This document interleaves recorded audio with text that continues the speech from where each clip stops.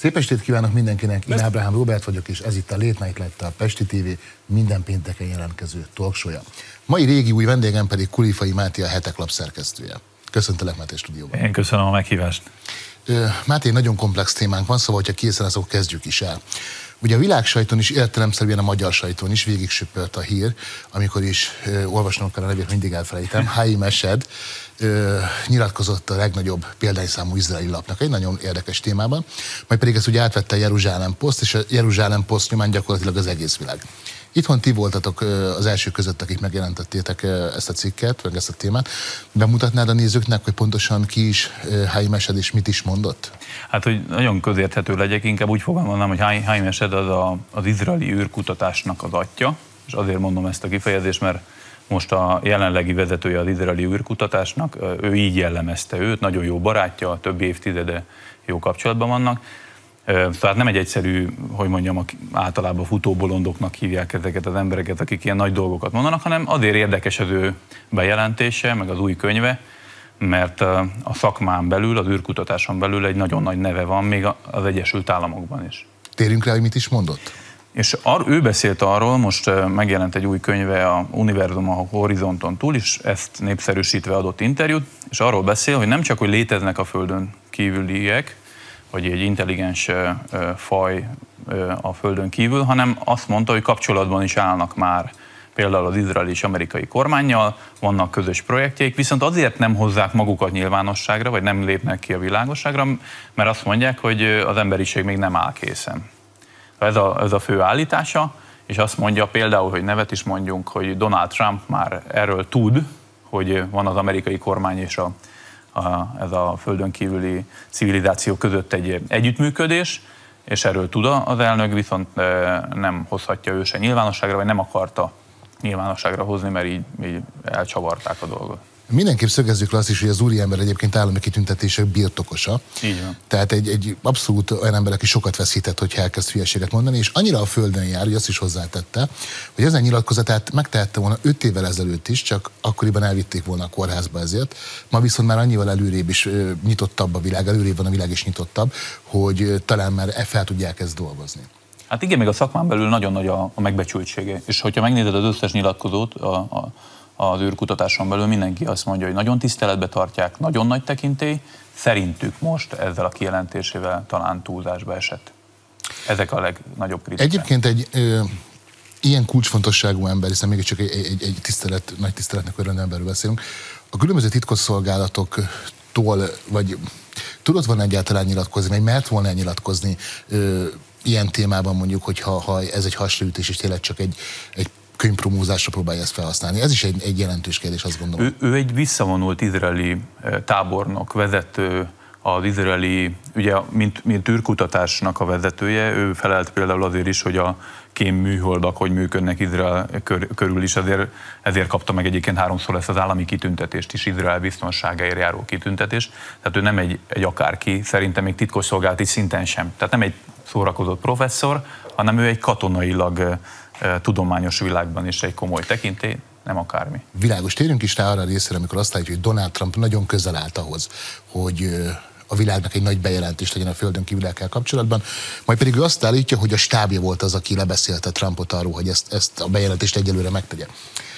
Ez azért érdekes, mert ennek nem mond ellent, ami a közelmúltban történt, hiszen Donald Trump valóban, amikor megkérdezték tőle, hogy az űrhaderőt, és már maga ez is kérdéseket vett föl, hogy minek volt szüksége az USA-nak a Space Force bevezetésére, de hogy közvetlenül azután, amikor elkérdezett egy riport, hogy azért volt ez szükség az űrhaderő bevezetésére, mert esetlegesen egy, egy földön kívüliektől érkező támadástól tart az USA, akkor arra Donald Trump azt nyilatkozta, hogy ő is hallott már erről, csak ezt le kell még csekkolnia. Tehát azért ilyet hivatalban lévő elnök nem mondott, és arra az állítására, mi szerint a stábja beszélt el, hogy erről ne nyilatkozon egyelőre, az is alátámasztani látszik, hogy utána pedig a Fox Newsnak már picit visszafogottabban, amikor a riporter elkérdezett konkrétan az UFO ügyre, akkor ö, azt állította, hogy ő erről nem hallott. Hogy pontosan miről nem hallott, az pedig most kiderül, hiszen megmutatjuk egy bejátszó formájában. Szóval nézzük, mit is mondott Donald Trump a Fox Newsnak.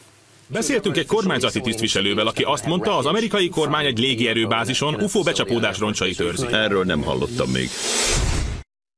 Nem az volt a legérdekesebb, hogy ő nem hallott még, és nem az volt a legérdekesebb, hogy teljes komolysággal kezelte a témát, hanem az is érdekes, hogy a Fox News riportere egy kormányzati forrásra hivatkozik, mert hiszen ezek szerint egy kormányzati forrás azt nyilatkozta nekik, hogy valóban van az amerikaiak birtokában egy lezuhant űrhajó, hiszen erről beszéltek, és az a Fox News-on ment le, és nem valami, nem tudom, 20 rendő csatornán.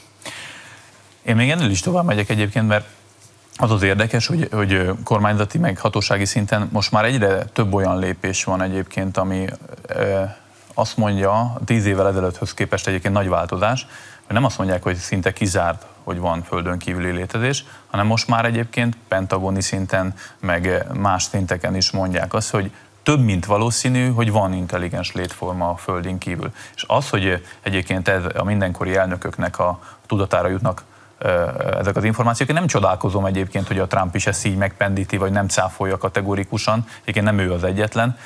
Azért nem csodálkozom ezen, mert, mert az, amit most már a nyilvánosság elé is kitártak, hogy nem tudjuk azonosítani bizonyos légköri jelenségeket, már olyan szinteket ölt, hogy annál nyilván egy, egy Egyesült Államok elnöke már sokkal többet. Ha már szoboztad a Pentagont, akkor említsük meg mindenképpen nézők kedvéért, hogy ebben a műsorban is volt már róla szó, de azért jó ezt megismételni, hogy idén tavasszal volt az, amikor a Pentagon elismerte, hogy egy évekkel korábban az internetre felkerült videó, amin azonosítatlan repülő tárgy és tárgyak láthatóak, amik egyértelműen ugye olyan mozgást végeznek, meg, meg, meg, meg olyan dolgokat követnek el, ami a, a mi tudásunk szerint a fizikának ellentmond. De szóval ezt a felvételt a Pentagon elismerte, hogy hogy ez bizony az övék és az valós felvétel.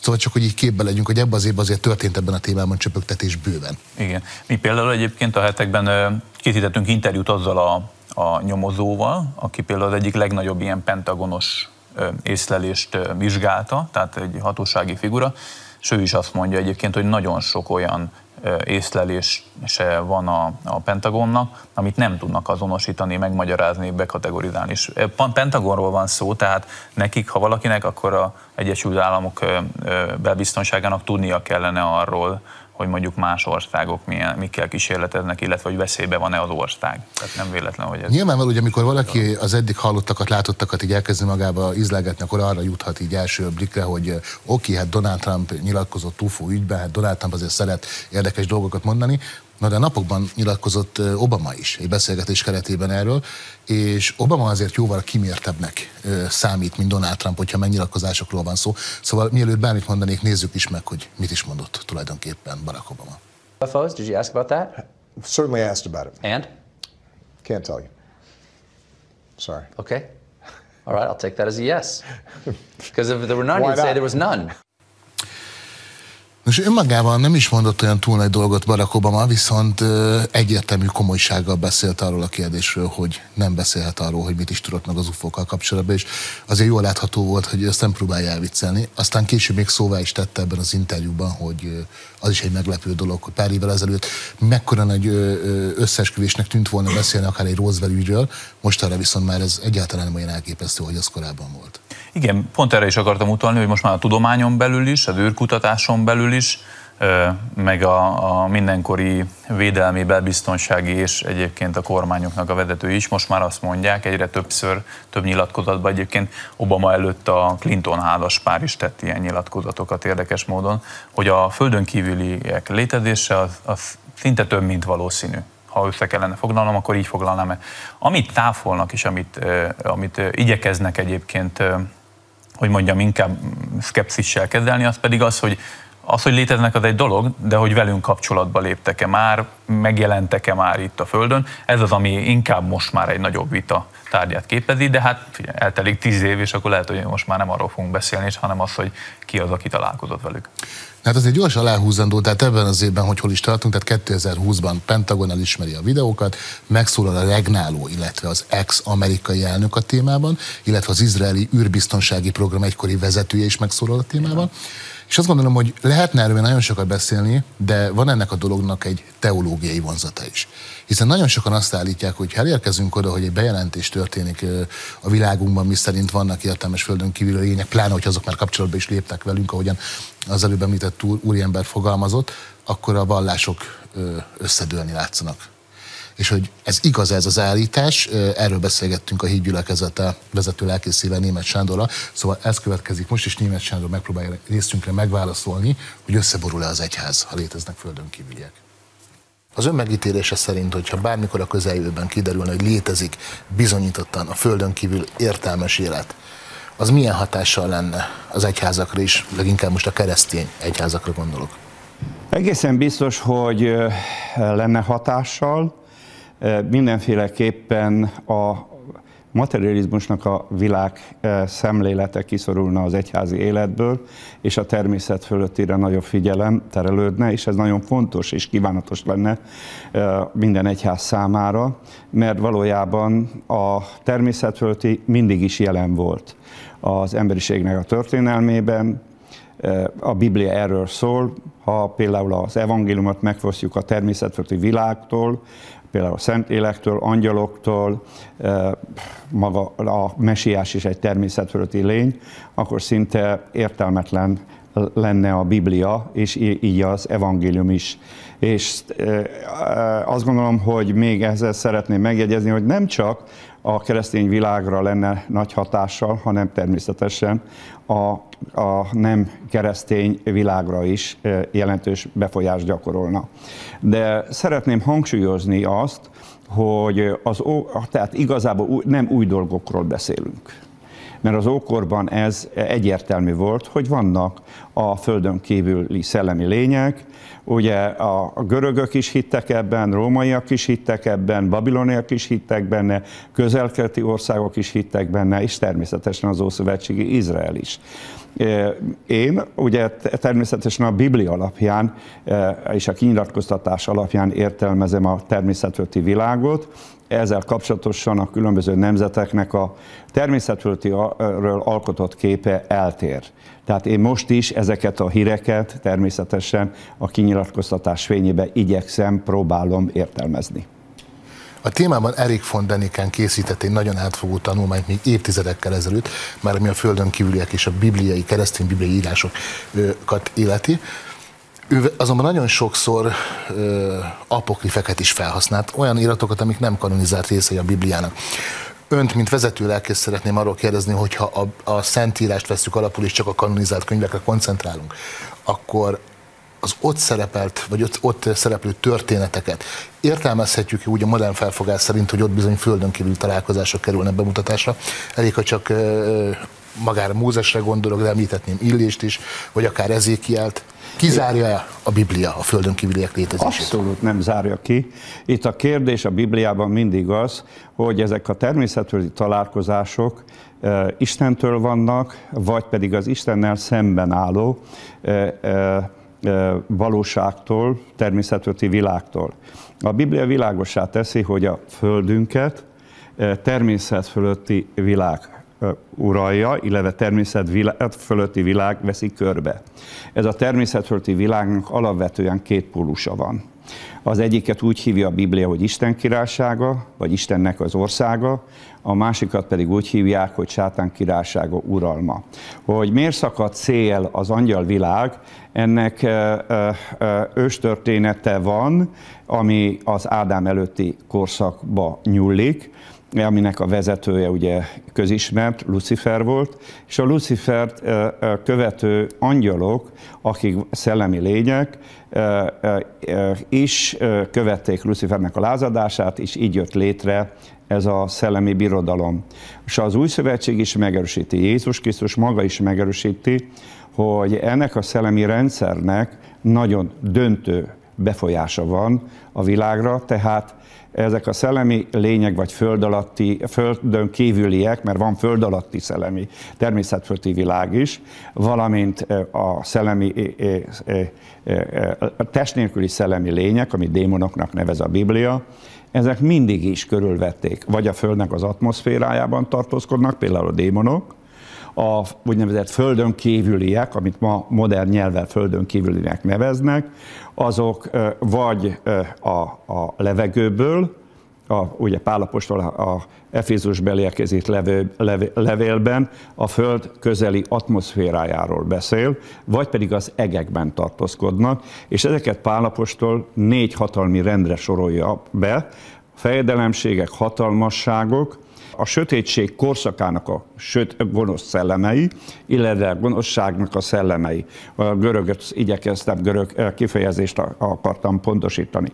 Tehát ezek azok, amelyek mondhatjuk ezekről, hogy földön kívüliek. De egy nagyon lényeges kérdés ezzel kapcsolatosan az, hogy az úgynevezett e, földön kívülinek nevezett szellemi lények milyen testtel rendelkeznek. Tisztán szellemi lények, vagy pedig a, a testük a látható világhoz tartozó elemekből épül fel. Ez egy döntő kérdés. Ha az utóbbiről van szó, akkor hibridről, hibrid lényekről beszélünk, ha szellemi lényekről van szó tisztán, tehát a testük is szellemi test, akkor küldöttekről beszélünk, közvetítőkről beszélünk, amit a magyar nyelvben angyalok, angyalokként ismertek. Ezeket nevezik a Biblia vigyázóknak, azért használja ezt a kifejezést bizonyos angyali rendre, mert ezek ellenőrzik a Földet, ellenőrzik a világnak az eseményeit, és ezeknek van olyan fórumok fönn, tanácskoznak bizonyos kulcsfontosságú ember jövőjét, sorsát érintő kérdésekkel kapcsolatosan hoznak határozatokat. Ezt látjuk a Dániel könyvében, de látjuk a királyok könyvében is, hogy van ilyen. Igen. Ha már szóba került a szellemi és a testi lények közötti különbség, akkor mindenképp szeretném azt tisztázni, mi a véleménye a Noé idejét megelőző, ahogy a Biblia fogalmaz, a földre szállt Istenfiakról, akik tudást adtak át az embereknek az írás szerint, majd pedig közös utódot is hoztak létre az emberek lányaival. Természetesen ezek megtörténtek, és egyébként az, ezek az események le vannak részletesebben írva az Énok könyvében, az Énok könyvét ugyan apokrifnak mondják, de igazából tartalmilag semmit olyant nem tartalmaz, amely ellentétes lenne a Bibliával. Maga az új szövetség is idéz belőle részeket. És ott látjuk ebben a leírásban, hogy ezek az angyalok megkívánták ugye női testeket és szexuális kapcsolatba léptek, és ez nagyon fontos momentum, hogy az angyalok képesek emberi formát ölteni, és ez által minden emberi funkciót be tudnak tölteni. Tehát szexuális kapcsolatra képesek tudják tenni magukat, illetve munkára, oktatásra, tanításra, és például az Énok könyve megjegyzi, hogy ezek a angyalok tanították meg az embereket, például az iparra, hogy a fémeket hogy kell kimunkálni, boszorkányságra, varázslásra, asztrológiára, a kozmetikai szereket a növényekből hogy kell nyerni, és elvetélést is, abortuszt is, abortuszra is ők tanították meg, mert ugye megjegyzi a, a Énok könyve is, illetve más apokrif is, hogy a hölgyek nagyon szépek voltak, kis hiúak voltak, és nem akarták, hogy a szüléskor te elveszítsék az alakuk, alakukat, és ezzel kapcsolatosan ezek az angyalok adtak nekik tanításokat, hogy hogyan tudják az alakai, alakjukat megőrizni. Ezekről érdekes megjegyzés van a hatodik fejezetben, hogy Noé korában az ő behatolásuknak az eredményeképpen nefili megszülettek, de utána van egy kulcsfontosságú megjegyzés, és erre szeretném felhívni a figyelmet, és azután is. Tehát itt a Biblia azt mondja pontosan, hogy a behatolás az tulajdonképpen nem fejeződött be, és tudjuk, hogy utána is születtek refák, és semmi olyan helyet nem találunk a Bibliába, amely kizárja, hogy a mai időben esetleg előfordulhat, vagy nem fordulhat elő ilyen behatolás az emberi nemben, emberiség életében. Tehát megvan a lehetőség ma is, hogy egy ilyen hibridáció létrejöjjön. A jobb könyv, illetve pontosabban Judásnál szerepel egy titokzatos kifejezés, amivel kapcsolatosan van vita, az idegen testnek a követése. Tehát idegen szó szerepel. A Károli Gáspár úgy fordítja, hogy más test, de teljesen pontos, ha az eredet kifejezésnek a visszaadása, hogyha idegennek adjuk vissza. Tehát, hogy idegen test. Én azt gondolom, hogy a hibridáció előfordulhat és megtörténhet a Földön kívül is. Tehát az angyali nemnek és az embereknek a keverése az megtörténhet a, a, akár egy más bolygó szintjén is. Végezetül hadd kérdezzek rá határozottan arra, hogy így a konklúziót aláhúzandó, hogy akkor ezek szerint a keresztény hitvilág és a maga keresztény egyház nem zárja ki annak lehetőségét, hogy léteznek földön kívüliek. Ne, egy, egyáltalán nem zárja ki. Itt csupán az érdekel bennünket, hogy angyalokról van-e szó, vagy démonokról. Vagy, vagy pedig ilyen hibrid lényekről. Mert azt gondolom, hogy először szükséges azt leszögeznünk, hogy német Sándor azért nem szokott mindenféle felkérésnek eleget tenni, a Pesti TV-vel viszont kivételtet, amit ezúton is köszönünk neki. Ugyanakkor egy teológiai perspektíváját láthattuk a földön kívüli életnek, vagy annak lehetőségének, ami nem mindennapos. Nem, valóban nem, de egyébként, ha most józan paraszti észre átgondoljuk, akkor mindenki, aki a Bibliát ismeri, olvassa, és a keresztény hitet magának vallja, számára nem lehet furcsa az, hogy a kézzel tapintható materiális világon túl van egy természetfeletti személyekből, lényekből álló másik világ, ami és a kettő meg szoros kapcsolatban van egymással. Talán ebben meg tudsz engem erősíteni, mint ö, diplomás teológ, vagy teológiai diplomával rendelkező személy, hogy akit egyébként érdekel a tím, az rengeteg ilyen érdekes történetet talál a Bibliában, ami erre vonatkozik, hiszen te jó magad is ebből írtad a szakdolgozatodat, a diplomát az egyébként. Igen, és azért is érdekes, mert például, ha Jézus tanítását megnézi a úgymond az utolsó napokkal kapcsolatban az ember, akkor azt mondja, hogy olyan lesz, mint a Noé napjaiban volt, és a Noé napjairól beszélt pont német Sándor lelkészlettel kapcsolatban, hogy volt egy ilyen angyali földön kívüli beavatkozás a földi létbe. Sándor nyilván nagyon töményen fogalmazta meg, de azért így a nézőknek vonzsuk ki, hogy tulajdonképpen ebben a nyilatkozatban szerepelt az is, hogy az, hogy léteznek más bolygón akár húsfél teremtmények is igazából egyáltalán nem megy szembe a bibliai írásokkal. Ez lett volna a lényeg. Igen, tulajdonképpen igen. Hát nem még erről a témáról mit beszélni, viszont az adásidőnk első fele a végéhez ért. Maradj velünk, mert ugyanis itt lesz a második fél időben is szokás szerint. Önök sem menjenek sehova, úgyis egy rövid szünet múlva érkezünk vissza kiegészülve Napik Tomival.